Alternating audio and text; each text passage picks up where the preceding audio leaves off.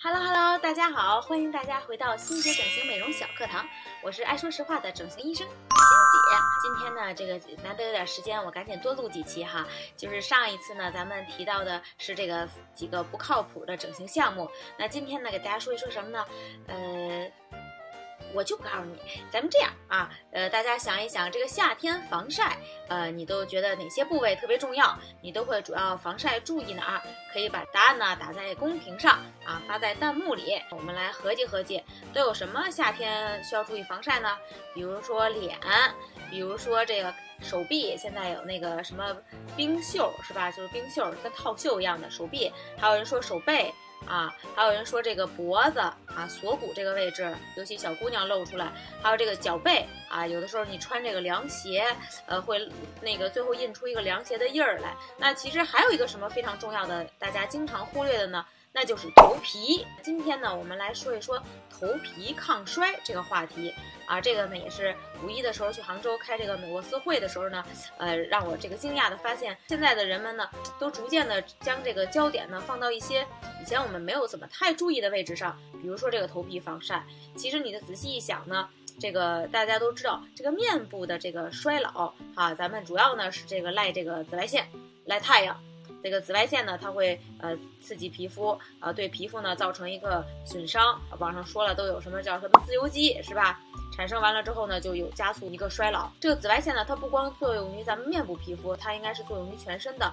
那作为我们的脑瓜顶呢，它承受的紫外线呢，显然是非常多的。本身呢，它就长期的这个暴露在外面。而且呢，呃，一般我们很少说，呃，给头发呢做一些呃防晒的处理，所以说它受到的紫外线的伤害呢也更大一些。下面呢，大家也都认识到，说这个紫外线也可以对头皮造成一个伤害，让它产生更多的自由基，加速头皮的衰老。还有的文章写什么头皮产生的自由基能加速身体其他部位的衰老，这个我就觉得没有什么太多依据了，因为我不知道这自由基能不能到处乱窜。但是头皮的衰老呢，其实它就可以产生很多的问题，就值当引起大家的关注了。比如说脱发，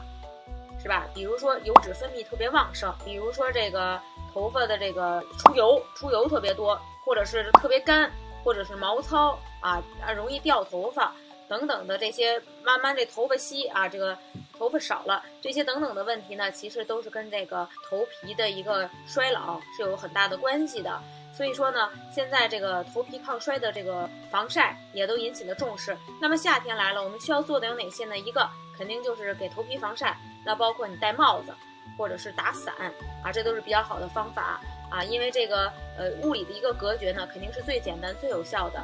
那还有一个呢，你比如说呃现在有好多这个理发店或者是洗发店。它有这种头皮的这个按摩呀，或者是一些头发的护理呀，这些的功能。我记得我以前查过，说这个反正是洗一次头发，就是说这个给你这头皮什么抹点这个抹点那个，再进行一下按摩，好像得好几百块钱呢。嗯。但是它这种长期的刺激呢，肯定能够刺激皮肤的这个血液循环，并且呢，它可能能让头发得到一个休息，得到缓冲之后呢，它的脱发也会明显的减少，而且可能这个头发的质量呢也会更好一些，因为它血运好了，营养好了，它自然就会呃，就跟你给树浇水是一个道理嘛。所以说呢，其实除了这些保养类的，比如说这个物理的防晒。比如说定期做一些头发的护理、头皮的护理，尤其是，啊，另外一个呢，就是咱们通过一些微整形类的项目，能够就像打水光针一样，对它进行一个保养，或者是呢给它补一补能量，因为好长时间呢没有关注它了。啊，这么多好几十年，它已经是风吹日晒了。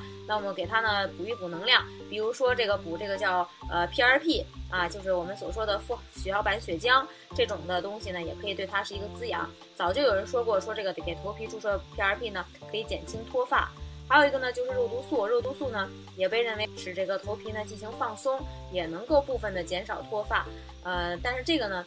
注射的时候这些呢，呃，可能都会有点点疼。因为它这个麻药呢，你这个头皮这块呢不好敷，你都有这么多头发嘛，所以不太好敷麻药。所以无论是注射 PRP 还是注射肉毒素呢，可能都是稍微有一点点疼的。呃，另外呢，这个还有一些现在新出的一些产品，有一些厂家新出的这些，呃，比如说无论它是促进你生发，还是说减少脱发，或者是头皮的营养，就跟咱们打水光针一样，其实呢，它就是呃，不仅是给脸浇一些水，施一些肥。现在呢，也出了很多新的药呢，可以给头发浇一些水，施一些肥。这个呢，呃，现在的有效性呢，可能也不能光听厂家吹啊，咱们还得有待呢更多的一个临床的一个观察，看看这些有效性啊、安全性。呃，反正呢，目前呢，现在说明这个议题已经得到了大家的关注，我们呢也不妨呃慢慢的呢呃关注一些这方面的话题啊，将这方面的这个知识呢也都呃了解了解。那关于这个呢，我们今天就先介绍到这儿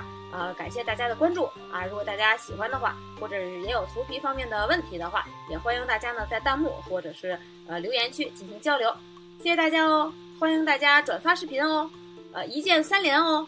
拜拜。